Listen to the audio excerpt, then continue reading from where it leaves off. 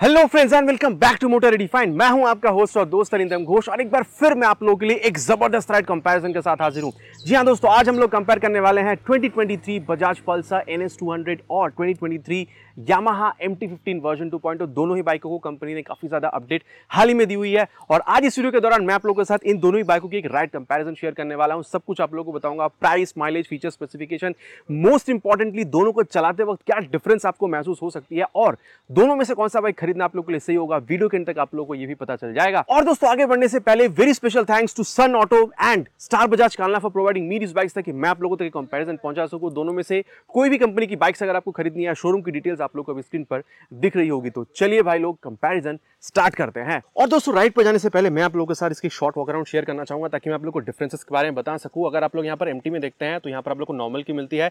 यहाँ पर आपको वेव की देखने को मिल जाती है। आप देख सकते हैं, जैसे आप इसको चला रहे हैं, आप लोगों को एलईडी हेड मतलब डीआरएल जो उसको सेटअप देखने को मिलते हैं और जैसे ही आप इसकी इग्निशन ऑन करते हैं, ये जो प्रोजेक्टर एलईडी हेडलैम्प है, उसको भी आप ऑपरेट कर सकते हैं। लेकिन अगर आप यहाँ पर एन एस टू हंड्रेड में आ रहे हैं, यहाँ पर अभी भी आप लोगों को जो हेलोजन हेडलैम्प की सेटअप है, वही देखने को मिल रही है और जैसे आप इसकी की ऑन करते हैं, आप लोग को ये जो पायलट यहाँ पर, ये जो आप लोग को लैंप मिल रहे हैं, वो आप लोगों को जलती हुई दिख जाएगी। बाकी मैं ये कह दूँ, बहुत जल्द आप लोगों को NS पे भी जो एल जो लाइट्स है, वो देखने को मिल जाएगी, लेकिन उसमें अभी थोड़ा सा समय लग सकता है। अगर आप लोग यहाँ पर टायर देख रहे हैं तो दोनों के पास ही हंड्रेड बाई एटी सेक्शन की फ्रंट में टायर है with seventeen inches of alloy wheel बाकी मैं कह दूँ, दोनों के पास ही आप लोग को सेफ्टी में डोल चैनल एबीएस मिलती है। और अगर आप लोग यहाँ पर यहाँ पर बजाज में आ रहे हैं एन एस टू हंड्रेड में तो यहाँ पर आप लोग को थ्री हंड्रेड mm की बड़ी सी डिस्क देखने को मिल रही है विद दिस गेम का कैलिपर लेकिन अगर आप लोग यहाँ पर यहाँ पर Yamaha M T fifteen version two में आ रहे हैं तो यहाँ पर आप लोग को ये टू एटी टू एम की ये जो डिस्क है, वो देखने को मिल रही है विथ बाई ब्रेक कैलिपर तो यहाँ पर एक चेंज है।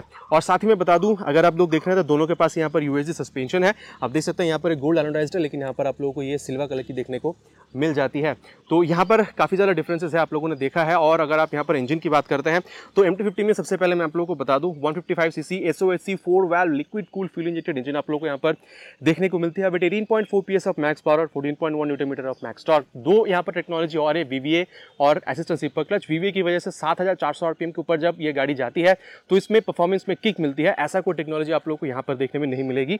यहाँ पर आप लोग को असिस्टेंट सिपर क्लच भी देखने को नहीं मिल रही बाकी परफॉर्मेंस में चलाते वक्त दोनों में क्या डिफरेंसेस है नहीं है, वो मैं आगे आप लोगों को बिल्कुल बताने ही वाला हूँ। और जैसे आप यहाँ पर एन एस में आते हैं तो यहाँ पर आप लोगों को one ninety nine point five C C four valve liquid cooled triple spark D T engine आप लोगों को एन एस में यहाँ पर देखने में मिल रही है। जी हाँ भाई लोग, दोनों ही आप लोगों को यहाँ पर ये लिक्विड कूल देखने में मिल जाते हैं, लेकिन पावर फिगर्स यहाँ पर आप लोगों को काफ़ी ज़्यादा मतलब करीबन छः पी तक की पावर यहाँ पर ज़्यादा है twenty four point five P और eighteen point seven four newton metre की मैक्स टॉर्क आप लोगों को यहाँ पर बिल्कुल देखने में मिल जाती है। अब अगर मैं आप लोगों को दोनों की रेयर सेक्शन के बारे में बताऊँ तो यहाँ पर अगर आप एमटी में देख रहे हैं तो यहाँ पर आप लोग को one forty by seventy section की टायर देखने को मिल रही है। With seventeen inches of alloy wheel. हाँ खासियत क्या है कि ये रेडियल टायर है। यहाँ पर आप लोग को दो सौ बीस एम की ये डिस्क देखने को मिल रही है। साथ ही ये एबीएस की रिंग आपको यहाँ पर देखने को मिलती है। और यहाँ पर आप लोग को ये येलो कलर की जो मोनोशा सस्पेंशन है, वो देखने में मिल रही है। लेकिन अगर आप लोग यहाँ पर एन एस में आते हैं तो टायर यहाँ पर थोड़ी सी पतली है। Hundred and thirty by seventy section के टायर आप लोग को यहाँ पर देखने में मिल रही है। लेकिन हाँ डुअल चैनल एबीएस यहाँ पर भी है। और यहाँ पर आप लोग को ये जो रिंग है मतलब ये जो आप डिस्क देख पा रहे हैं, दो सौ तीस एम की मिल रही है। तो थोड़ी सी बड़ी आप कह सकते हैं when compare to M T fifteen और साथ ही यहाँ पर आप देख हैं, जो मोशर सस्पेंशन है, यहाँ पर भी आपको देखने में मिल जाती है। तो रियर सेक्शन में भी थोड़ी बहुत डिफ्रेंसेज है, जो मैंने आप लोगों को अभी बता दिया है। और आगे चलते हुए मैं आप लोगों को इन दोनों की जो एग्जॉस्ट साउंड है, वो सुना देता हूँ।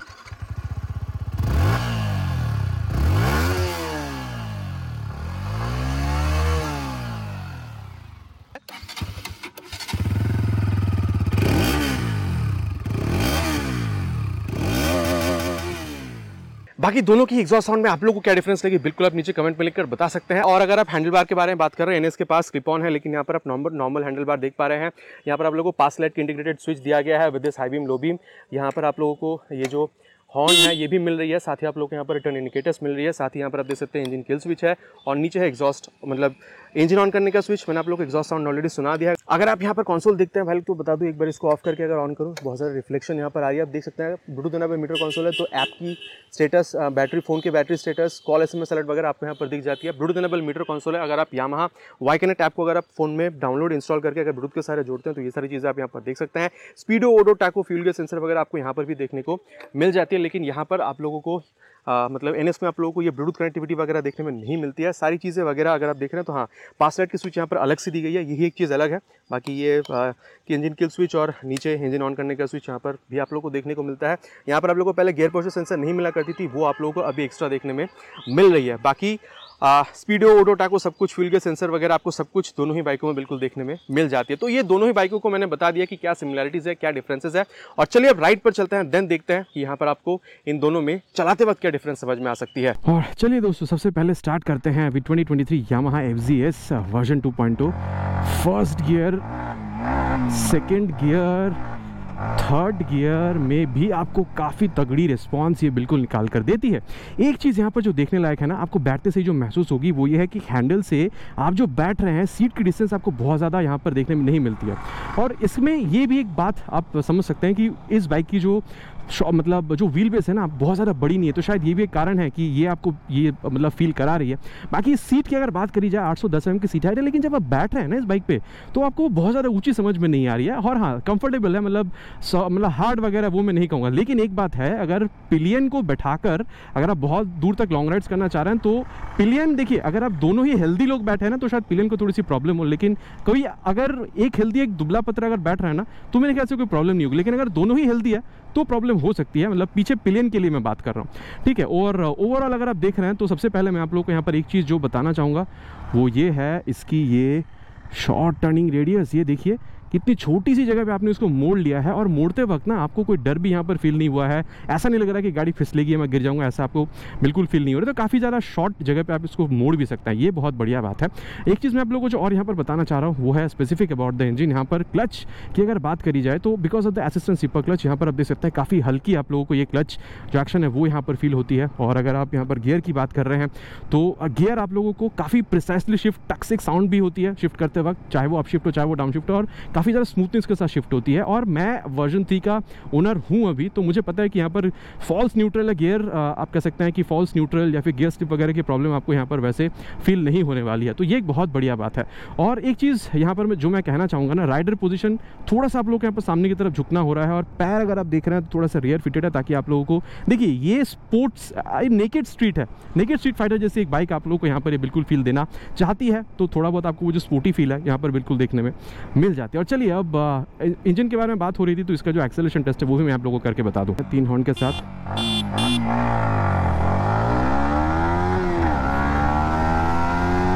ये आप लोगों ने 60 तक देख लिया है। नाउ इट्स टाइम फॉर 100 और ये इसने 100 भी अचीव कर लिया है। बाकी फ्रेंड्स मैं कहना चाहूँगा यहाँ पर स्टेबिलिटी का even at the speed of 100 कोई प्रॉब्लम नहीं है। हाँ 120-25 जब आप जा रहे हैं तो शायद आपको फील हो, लेकिन एटलीस्ट एक 110-20 तक तो आपको यहाँ पर कोई स्टेबिलिटी में इशू फील नहीं होगी। वाइब्रेशन 90 के बाद हल्की से आप लोगों को समझ में आ रही है फुट पिक्स पर। अगर आपने जूते ग्लव्स पहने हुए, वो भी आपको बहुत ज़्यादा बॉदर नहीं करेगी। और अगर मैं आप लोगों को यहाँ पर कंफर्टेबल क्रूजिंग स्पीड बताऊँ तो वो आप कह सकते हैं कि आपको वो अराउंड सेवेंटी से एट्टी के बीच में देखने को मिल जाएगी, क्योंकि अगर आप हाई स्पीड पर चढ़ते हैं तो प्लाज्मिया की माइलेज घट सकती है, लेकिन वो माइलेज तब भी आपको अराउंड पैंतीस से चालीस किलोमीटर तक की देखने को मिल सकती है। और चलिए भाई लोग, अब इसकी जो ब्रेकिंग टेस्ट है, वो भी कर लेते हैं सबसे, क्योंकि यहाँ पर डुअल चैनल एबीएस दिया गया है तो सबसे पहले यहाँ पर जो फ्रंट ब्रेक है at the speed of sixty test करेंगे। And brake applied oh my god 282 M की यहाँ पर ये जो ब्रेक डिस आपको मिल रही है, काफ़ी तगड़ी ब्रेक बाइट और जो परफॉर्मेंस है वो निकाल कर दे रही है। फीडबैक बहुत बढ़िया है। हाँ ए बी एस का इंट्रूशन मुझे अभी यहाँ पर बहुत ज़्यादा फील नहीं हुई है। और चलिए, अब जो रियर ब्रेक है, उसको भी same at the speed of sixty try करते हैं। एंड ब्रेक अप्लाइड ये आपने देखा है फ्रेंड्स मैंने इसको एक्सट्रीम प्रेस किया, लेकिन फिर भी फिसली नहीं है। अब देखिए प्रोग्रेसिव फीडबैक है तुरंत आपको नहीं ये रोक रही है। बाकी हर एक बाइक में अमूमन आपको यही देखने को मिलता है। लेकिन बढ़िया बात यह है कि एक्सट्रीम प्रेस करने के बाद भी मैंने रियर ब्रेक को जब एक्सट्रीम प्रेस किया था, फिर भी ये फिसली नहीं है। Because of the A B S लेकिन हाँ ए का जो इंट्रूशन है, वो भी मुझे फील नहीं हुई है। ये मुझे बहुत बढ़िया बात लग रही है। और चलिए, अब दोनों ही ब्रेक को साथ में अप्लाई करके देखते हैं। Same at the speed of sixty and brake applied oh my god ये बहुत सही है। एक बार गाड़ी को दोबारा मोड़ लेते हैं देन बात करते हैं। ये मुझे बहुत सही लग रही है। मतलब पहले हल्का सा आप रेयर ब्रेक को अप्लाई कीजिए देन फ्रैक्शन सेकंड्स के बाद फ्रंट ब्रेक को अप्लाई कीजिए। आपको ना बहुत तगड़ी यहाँ पर बिल्कुल रिस्पॉन्स देखने को मिलेगी फ्रॉम द ब्रेकिंग ओवरऑल आप कह सकते हैं टू एटी टू एम की front brake two twenty M की जो रियर ब्रेक है, आपको काफ़ी तगड़ी रिस्पॉन्स निकाल कर दे रही है और आपको कॉन्फिडेंस ज़्यादा भी इसलिए मिल रहा है क्योंकि यहाँ पर डुअल चैनल एबीएस देखने को मिल जाती है। और अब अगर मैं आप लोगों को हैंडलिंग और सस्पेंशन के बारे में बताऊँ तो सबसे पहले मैं सस्पेंशन आपको कहना चाहूँगा, ये देखिए। ये जब आप कर रहे हैं ना 141 किलोग्राम की वेट है और उसके साथ क्योंकि यहाँ पर इस सामने में यू फोक लगी हुई है ना तो आपको वो स्टिफनेस भी महसूस हो रही है जब आप आ, आ, मतलब बाइक को ऐसे हिल डुल कर रहे हैं ठीक है? वो जो स्टिफनेस है वो आपको एक कॉन्फिडेंस दे रही है कि अगर आप कॉर्नरिंग करना चाह रहे हैं या फिर अगर आप हाई स्पीड पे जा रहे हैं तो आपको जो फीडबैक है सस्पेंशन में से जो स्टेबिलिटी है आपको काफ़ी गजब की देखने को मिलेगी। बाकी एक चीज़ है अगर आप रियर देख रहे हैं सस्पेंशन तो ये आप लोगों को मोनोशॉक देखने को मिलेगी और क्यों ना थोड़ा सा इसको यहाँ पर देखिए। ये गड्ढा थोड़ा बहुत भी अगर गड्ढा है रास्ते पे तो वो फीडबैक आपको इंच इंच का फीडबैक आप लोग को यहाँ पर देखने में मिल जाते हैं। तो ये बहुत सही भी है कि मतलब रोड पे क्या है एक्चुअली आपको चलाते वक्त समझ में आती है, लेकिन हाँ ये आपको तब हेल्प नहीं करेगी जब आप बहुत ज़्यादा गड्ढे पर हैं। बाकी अगर दस, पंद्रह, बीस के स्पीड पर थोड़े बहुत अगर आप गड्ढे पर से जा भी रहे हैं तो आपको बहुत ज़्यादा मतलब ये जर्क भी फील नहीं कराती है। बट मैं मिला जुला के कह सकता हूँ कि सस्पेंशन में से फीडबैक आपको बढ़िया मिलेगा। कॉर्नरिंग पे या, या फिर हाई स्पीड पे या फिर अगर आप क्रूजिंग कर रहे हैं लेकिन बहुत ज़्यादा अगर आप गड्ढे पर रास्ते पर जा रहे हैं तो मेरे ख्याल से वो जर्क भी आपको ज़्यादा फील करा सकती है। मुझे तो भाई लोग बहुत ज़्यादा मज़ा आ रहा चलाते वक्त और ये मैं कह सकता हूँ कि ये जो रियर व्यू मिरर है इसमें अगर ये थोड़ी सी और बड़ी होती शायद और ज़्यादा मज़ा आता। बाकी यहाँ ठीक ठाक है। रियर व्यू आपको अच्छी तरीके से मिल रहा है। थोड़ी सी और अच्छी होने की यहाँ पर गुंजाइश रहती है। और ओवरऑल अगर आप देख रहे हैं तो काफ़ी आपको चला के यहाँ पर बिल्कुल मज़ा आ रहा है। हैंडलिंग इसकी काफ़ी सही है। और चलिए अब देखते हैं कि एन एस में आप लोगों को कहाँ तक मतलब जो फील है वो अलग हो सकती है। और चलिए दोस्तों, अब यहाँ पर राइड कंपैरिजन स्टार्ट करते हैं of 2023 Bajaj N S two first gear पर डाल दिया है। और ये सेकेंड गियर पर, और ये थर्ड गियर पर। सेकेंड गियर तक ना आपको वो विजिबल डिफरेंस समझ में आता है। काफ़ी, आप कह सकते हैं कि वो टॉर्क के साथ आपको खींचती है, काफ़ी दम से आपको खींचती है। बाकी अगर आप इसको एम टी फिफ्टीन से कंपेयर कर रहे हैं तो हाँ क्योंकि eighteen point four P S तक की पावर और यहाँ पे twenty four point five P S तक की पावर तो वो जो पावर डिफरेंस है, बहुत ज़्यादा तो नहीं, लेकिन हाँ विजिबली आपको समझ में आ रही है, लेकिन ये आपको तब समझ में आएगी जब आप इसको मतलब तरीके से परखेंगे। नॉर्मली अगर आप चला रहे हैं तो आपको उतनी ज़्यादा समझ में नहीं आएगी। इनिशियल रिस्पॉन्स की अगर बात की जाए इनिशियल इंप्रेशन की तो हाँ काफ़ी ज़्यादा लोड के साथ भी अगर आप बाइक को खींचने की कोशिश कर रहे हैं तो मेरे ख्याल से यहाँ पर आपको कोई प्रॉब्लम ऐसे फील नहीं होनी चाहिए। ओवरऑल इनिशियल रिस्पॉन्स काफ़ी गजब की आपको देखने को मिलेगी। टॉर्क एक्सेलरेशन काफ़ी सही है। और अगर मैं आप लोगों को यहाँ पर राइडर पोजीशन के बारे में बताऊँ तो यहाँ पर क्या है ना कि जैसे मैंने आपको एमटी में बताया था कि ये हाँ एमटी में क्या था? नॉर्मल आपको हैंडल वाल मिल रही थी, यहाँ पर आपको क्लिप ऑन मिल रही है तो मतलब ओवरऑल जो फीडबैक है हैंडल में से आपको और बेहतर मिल रही है, लेकिन एक चीज़ है एमटी में ये जो आप हैंडल बार देख रहे हैं, उससे आपकी जो डिस्टेंस है, वो बहुत कम था, लेकिन यहाँ पर वो थोड़ी ज़्यादा है, वो आपको समझ में आ रही है। और हाथ जो है थोड़ी सी ऊपी, ऊँची है यहाँ पर आपकी, और अगर आप ये फुटपेक देख रहे हैं तो बिल्कुल सेम है मतलब रेयर फिटेड है जैसे आप लोग को एमटी में देखने को मिल रहा था। और रेयर में मैंने देख लिया है, कोई है नहीं, वैसे चलिए, इसको भी मोड़ के देख लेते हैं। ये हाँ ये भी आप कह सकते हैं कि बहुत ज़्यादा यहाँ पर आप लोग को डिफरेंस समझ में नहीं आ रही है मोड़ने में, ठीक है? अब कॉन्फिडेंस तो आपको यहाँ भी मिल रही है यूएसडी यहाँ पर भी है रियर में मोनोशॉक यहाँ पर भी है एमटी में क्या है, आप लोग को रीडल टायर मिल रही थी एक सौ mm की, लेकिन यहाँ पर आप लोग को एक सौ mm की नॉन रीडल वाले टायर मिल रहे हैं। बाकी अगर आप फीडबैक कहेंगे रिस्पॉन्स कहेंगे कॉर्नरिंग के टाइम पर या फिर मतलब ये शॉर्ट टर्निंग लेते वक्त तो आपको बहुत ज़्यादा डिफरेंस समझ में नहीं आ रही। बाकी हाँ वेट डिफरेंस है। वो वन किलोग्राम के या वन किलोग्राम के लेकिन भाई लोग, अब विश्वास कीजिए, जब मैं, जब मैंने इसको मोड़ा ना तो वो वेट में जो इतना 17 किलोग्राम्स तक का डिफरेंट है ना? डिफरेंस है, वो आपको यहाँ पर बहुत ज़्यादा समझ में नहीं आई है। तो ये मेरा इनिशियल इंप्रेशन था अबाउट दिस बाइक बाकी अगर आप राइडर पोजीशन देख रहे हैं, हल्का झुक रहे हैं रेयर फिटेड फुटपेग है और यहाँ पर पिलेन को बैठने के लिए काफ़ी ज़्यादा जगह मिल जाती है वैन कंपेयर टू एम और अगर आप देख रहे हैं तो यहाँ पर आपको क्लच में वो जो रिस्पॉन्स है मतलब एमटी में थोड़ी सी सॉफ्ट मिल रही थी असिस्ट की वजह से यहाँ पर थोड़ी सी आपको हार्डर मिलेगी। बाकी मिड साइड पर है। एम से कंपेयर करें तो थोड़ी सी हार्ड महसूस होगी। बाकी यहाँ पर आप लोगों को जो स्लीपर क्लच है, वो देखने को नहीं मिलती है। तो वेरी हाई स्पीड्स पर अगर आप डाउन शिफ्ट कर रहे हैं तो चक्का फिसलने का जो डर है यहाँ पर बनता है। बाकी वो बहुत मतलब आप कह सकते हैं कि रेयर चीज़ है, लेकिन हाँ फिर भी एमटी में थोड़ी सी एडवांटेज यहाँ पर, वहाँ, यहाँ पर से वहाँ पर आपको एक्स्ट्रा देखने में मिल जाती है। और अगर मैं आप लोगों को इतना इंजन के बारे में बता ही रहा हूँ तो चलिए इसकी जो एक्सेलेशन टेस्ट है, वो भी मैं आप लोगों को करके बता देता हूँ। देन मैं आपको बताऊँगा कि दोनों में क्या डिफरेंस आपको मिलती है एक्सेलेशन के टाइम पे। फ़र्स्ट गियर पर मैंने डाल दिया है, तीन हॉर्न के साथ।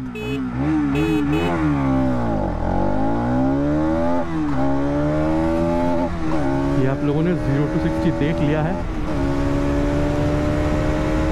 और इसने हंड्रेड भी जो है वो अचीव कर लिया है। यह, अब देखिए, मैं I will be very honest ठीक है?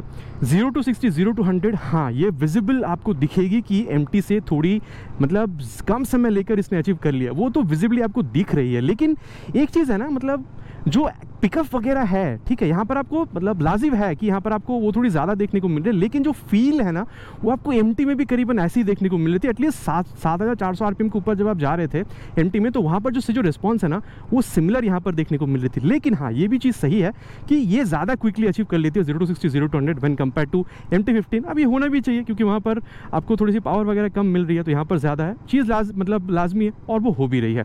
और वहीं अगर मैं आप लोगों को बताऊँ अबाउट द वाइब्रेशन एक बार इसको मोड़ लेते हैं देन बात करते हैं। अगर मैं आप लोगों को वाइब्रेशन के बारे में बताऊँ तो यहाँ पर भी मैं आपको वही कह सकता हूँ, अगर आप 90 तक जा रहे हैं 95 तक जा रहे हैं तो हल्की से आप लोग को यहाँ पर वाइब्रेशन फील हो रही है। मतलब हैंडल बास पे बाकी वो भी अगर आप यहाँ पर एक ग्लव्स वगैरह पहने हुए हैं तो बहुत कम महसूस हो रही है, क्योंकि वहाँ पर बहुत कम आप कह सकते हैं कि वाइब्रेशन है, बहुत ज़्यादा कंट्रोल्ड है। और अगर मैं आपको कहूँ कि स्टेबिलिटी कैसी है तो एक सौ तक भी अगर आप जा रहे हैं ना तो भी आपको बहुत ज़्यादा मतलब स्टेबिलिटी में फील नहीं होगी। हाँ एक सौ तीस के ऊपर जब आप जा रहे हैं तो हल्का सा आप लोग को स्टेबिलिटी में जो इशू है वो फील हो सकती है।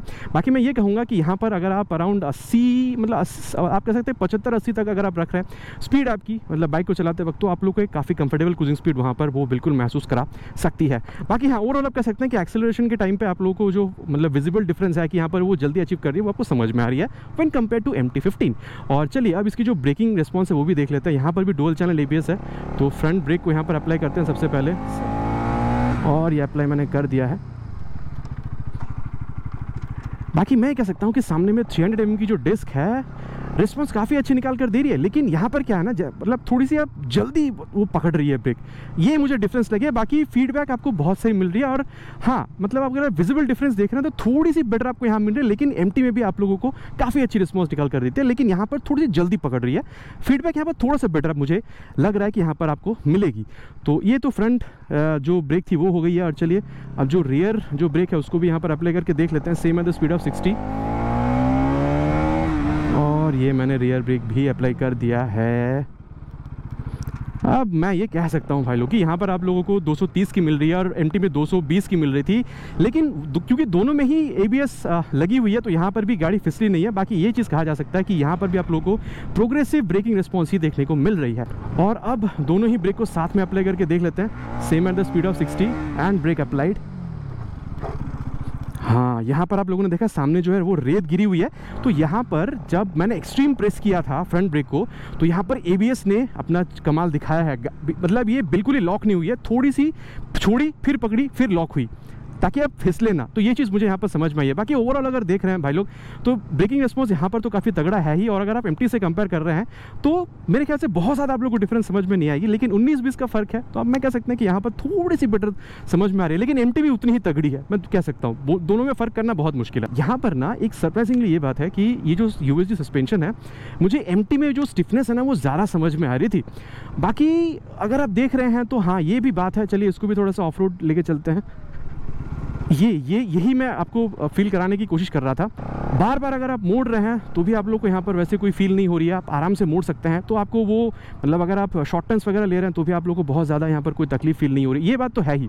और एमटी से अगर आप कंपेयर कर रहे हैं ना तो वहाँ पर स्टिफनेस आप लोगों को ज़्यादा फील हो रही थी और जैसे आप गड्ढे वगैरह पर लेके जा रहे थे तो भी आप लोगों को ना वो फीडबैक ज़्यादा मिल रही थी। यहाँ पर आप कह सकते हैं कि बहुत ज़्यादा आप लोगों को उतनी ज़्यादा फीडबैक नहीं मिल रही, लेकिन हाँ फीडबैक आपको यहाँ पर भी सही ठीक ठाक मिल रही है। इन चीज़ मैं बता रहा था ना कि एमटी में आपको फील होती है, लेकिन यहाँ पर दोबारा एक बार मैं यहाँ पर इसको लाकर देख लेता हूँ। हाँ यहाँ पर क्या है ना, आपको थोड़ी ज़्यादा कंफर्टेबल फील होती है। मैं सस्पेंशन की बात कर रहा हूँ। बाकी एमटी में क्या है, जब आप मतलब ओवरऑल सस्पेंशन देखते हैं तो वहाँ पर थोड़ी सी स्टिफनेस ज़्यादा फील होती है। बाकी स्टिफनेस यहाँ पर भी है, लेकिन एमटी के मुकाबले यहाँ पर आपको जो स्टिफनेस है, थोड़ी सी कम बिल्कुल महसूस होगी। लेकिन, आज चाहे आप कॉन्डरिंग कर रहे हो, चाहे आप हाई स्पीड्स पर हो stability from U S D from rear motor suspension आप लोगों को दोनों में ही करीबन सेम ही देखने को मिल जाती है। और अब अगर मैं आप लोगों को हैंडलिंग के बारे में बताऊँ तो ये जब मैं कर रहा हूँ ना तो ये सत्रह किलोग्राम उससे ज़्यादा भी करती है, लेकिन ना, ये मुझे बहुत ज़्यादा फील नहीं करा रही है। मतलब वेट का जो डिफरेंस है, जब आप MT से यहाँ पर आ रहे हैं तो बहुत ज़्यादा आपको ये फील नहीं करा रही है। बाकी हाँ एम पे आप गाड़ी पर बैठते हैं, यहाँ पर थोड़ा सा गाड़ी के अंडर बैठे हैं, और हाथ मतलब ये हैंडल जो है मतलब क्लिप ऑन मिल रही है। थोड़ी सी ऊँची है तो ओवरऑल यहाँ पर जो हैंडलिंग है, वो आपको डिफरेंट जो है, वो बिल्कुल समझ में आती है। लेकिन दोनों की हैंडलिंग में ना, हल्का सा आप लोग को डिफरेंस देखने को मिलेगा, क्योंकि अगर आप एमटी पे जाते हैं तो हैंडल से आपकी जो डिस्टेंस है, वो थोड़ी सी कम है, यहाँ पर थोड़ी सी ज़्यादा है। तो यहाँ पर फ्रेंड्स मैंने आप लोगों को दोनों ही बाइकों के बारे में बता दिया, और चलिए अब बात करते हैं कंक्लूजन के बारे में कि किसको कौन सी बाइक खरीदनी चाहिए। और दोस्तों, अब बात कर लेते हैं कंक्लूजन के बारे में कि कौन सा बाइक खरीदना आप लोगों के लिए सही हो सकता है। मैंने दोनों ही बाइक को राइड करके क्या कैपेबिलिटीज़ है, क्या डिफरेंसेस क्या सिमिलैरिटीज़ बता दिया है। प्राइस में आप लोगों को बता दूँ, अगर आप ये बाइक देख रहे हैं वन लाख एटी तक में मिल जाएगी, और ये बाइक आप लोगों को करीबन टू लाख वन तक में देखने को मिल जाएगी। तो आप कह सकते हैं, करीबन आप लोगों को बीस से बाईस तक डिफरेंसेज है। यहाँ पर बीस से बाईस हज़ार ज़्यादा, यहाँ पर बीस से बाईस हज़ार कम पे कर रहे हैं। मैं कंक्लूजन को या फिर कह सकते हैं वर्डिट को बहुत ज़्यादा क्लियर रखूँगा। अगर आप लोगों को के की बाइक पसंद थी, क्योंकि जो इंजन है KTM से डिराइव करी गई है, बहुत हद तक मैं कह सकता हूँ, पूरी तरीके से तो नहीं। आपको KTM की बाइक जो है, उसकी आवाज़ आपको पसंद थी, उसकी परफॉर्मेंस आपको पसंद थी, लेकिन उतना ज़्यादा बजट आपका नहीं था। लेकिन आपको एक बेस्ट इन क्लास परफॉर्मेंस चाहिए, आपको रॉ पावर फील करना है, आपको मतलब पच्चीस पी तक की पावर चाहिए थी, आपको लिक्विड कूल्ड इंजन चाहिए थी, आपको पेरीमीटर फ्रेम की जो परफॉर्मेंस है, वो आपको अच्छी लगती है। एनएस की जो लुक है, वो आपको अच्छी लगती है। आपको करीबन तीस से बत्तीस किलोमीटर तक की माइलेज चाहिए थी और आपकी बजट अराउंड एक लाख अस्सी से एक लाख पचासी तक में थी। तो मेरे ख्याल से ये वाली जो बाइक है, आप लोगों को बेस्ट साबित बिल्कुल करा सकती है क्योंकि परफॉर्मेंस इसकी बढ़िया है और इंजन की जो रिस्पॉन्स है ना, जो आवाज़ है उससे तो आपको प्यार हो जाएगा अगर आप इसको एक बार चला के देखेंगे तो। और अब अगर मैं आप लोगों को एम टी फिफ्टीन के बारे में बताऊँ तो ये किनको लेना चाहिए? आप कॉलेज गोइंग स्टूडेंट है, अगर बेसिकली देखा जाए, आपको ये चाहिए कि आपको एक अच्छी गुड लुकिंग एक नेकेड स्पोर्ट वाली बाइक मिली, आपको हैंडलिंग अच्छी चाहिए। यूएसडी यहाँ पर दिया गया है। आपको एडेड सेफ्टी चाहिए। डुअल चैनल के साथ साथ ट्रैक्शन कंट्रोल भी आपको देखने में मिल रही है। आपको परफॉर्मेंस अच्छी चाहिए तो वीवी टेक्नोलॉजी है। लिक्विड कूल इंजन है। आपको एक्सेलेशन भी अच्छी चाहिए तो यहाँ पर एटीन पॉइंट की पावर है। आपको मतलब ट्रैक्शन कंट्रोल के साथ साथ यहाँ पर आप लोग को ब्लूटूथ एनेबल मीटर कंसोल चाहिए था कि कॉल एस एम अलर्ट वगैरह भी आप लोग को चाहिए थी। आपको अच्छा सेफ्टी तो चाहिए ही, साथ ही आपको यहाँ पर चौड़ी जो टायर है वो भी चाहिए थी। और आप लोग को एक अच्छी लुकिंग वाली बाइक चाहिए, साथ ही आप लोग को यहाँ पर डेल्टा बॉक्स जो फ्रेम है, क्योंकि ये जानी जाती है अपनी परफॉर्मेंस के लिए, अपनी, आप कह सकते हैं कि हैंडलिंग के लिए, अपनी स्टिफनेस के लिए, अपनी, आप कह सकते हैं कॉन्फिडेंस के लिए। तो मेरे ख्याल से अगर आपकी अगर आपकी बजट अराउंड दो लाख से दो लाख पाँच हज़ार तक में है और आप चाहते हैं कि बाइक को आप काफ़ी मतलब दिनों तक चलाना चाहते हैं, क्योंकि इंजन जानी जाती है मतलब यामा की अपनी रिलायबिलिटी के लिए तो मेरे ख्याल से ये जो बाइक आप लोग के लिए एक बेस्ट बाइक बिल्कुल साबित हो सकती है। बाकी फ्रेंड्स दोनों ही बाइक बहुत बढ़िया है। आप लोगों को कौन सा बाइक ज़्यादा सही लगता है, बिल्कुल आप नीचे कमेंट पर लिखकर मैंशन कीजिएगा। मैंने अपना वर्डिक बता दिया है। आशा करता हूँ वीडियो आप लोग को पसंद आई होगी। आपको पता है पसंद आया तो क्या करना है? भाई को मोटिवेट करने के लिए वीडियो में एक लाइक और अगर आप चैनल पर नए हैं तो सब्सक्राइब करके बिल बटन दबाना प्लीज़ मत भूलेगा मिलते हैं दोस्तों एक नए वीडियो में नए टॉपिक के साथ till then ride safe and जय हिंद।